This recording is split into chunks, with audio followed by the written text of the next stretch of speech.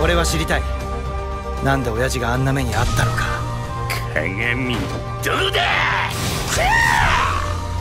一番ヤバいところに手を出そうってのか。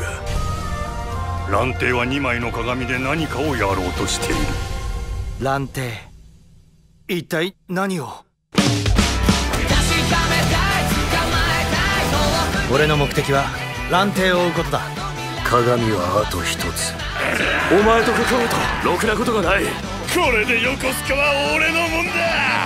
ついてきな。貴様はまだ俺の相手ではない。お前にもいずれ分かる時が来る。分かる時が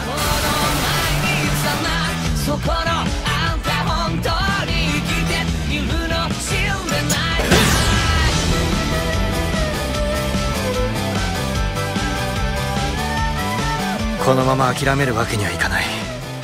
だから俺は強くなる。うわ